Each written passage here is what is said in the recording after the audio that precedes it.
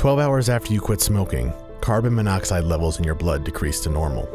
After a year, your added risk of heart disease is cut in half. Five years after quitting, your risk of having a stroke is the same as a non smoker. It's not going to be easy, but when you're ready, Smoke Free Oregon is here to help.